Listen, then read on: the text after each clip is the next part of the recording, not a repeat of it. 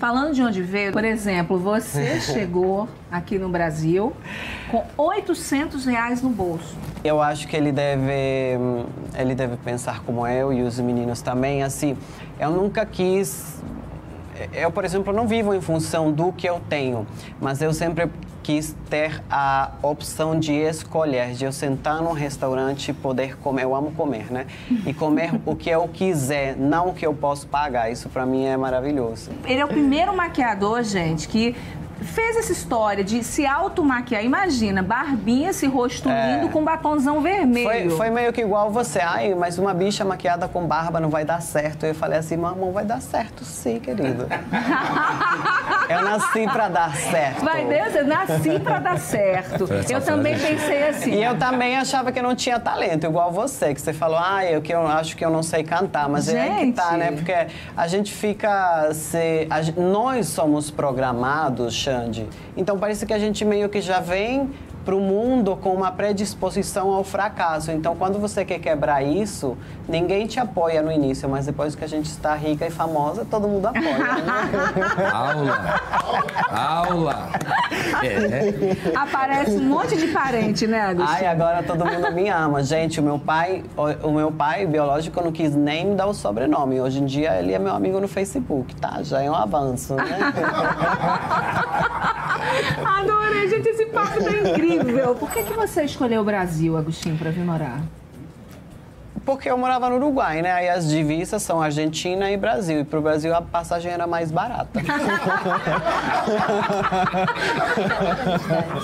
Sensacional! se, eu, se eu viesse pro Brasil, eu fiz as eu contas. Eu quero aqui todos os dias. Eu, eu fiz as contas assim.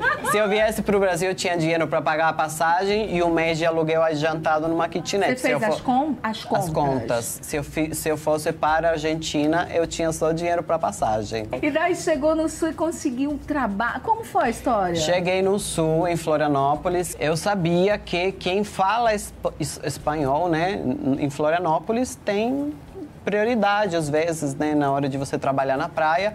E aí eu cheguei logo para trabalhar limpando o, salão, o, chão de um salão e fazendo café. Foi isso que eu fiz durante muitos anos, né? Eu ganha, ah, eu recebia tipo a, o aluguel da minha kitnet tirar 300 reais. Eu ganhava 420 por mês.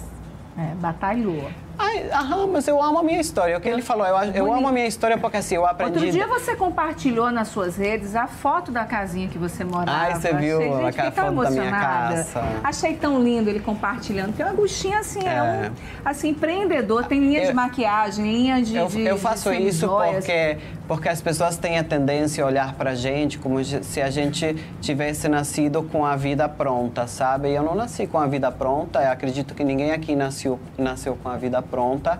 Então eu precisei fazer reeducar a minha audiência também para que eles entendessem que eu estou aqui porque eu fiz acontecer para que fosse assim. É. Né? E vencer na vida para a gente era uma questão de honra. A gente tinha que quebrar as tradições familiares, né? É verdade. Assim, hoje... Tá, tá aqui, cara. Não é, Sandy? Esse cara dando aula. E olha, deixa eu te falar uma Não, coisa. É verdade, eu, pra quem... Você é isso. Verdade, acho que, eu fico Acho que os meninos aqui, pelo que estão falando também. Também, Agostinho, eu também tenho uma história de vida É. muito difícil, né? Eu perdi os meus pais na adolescência, pai, Você mãe, falou, irmão. E com eles, assim, toda a situação financeira da gente é, mudou.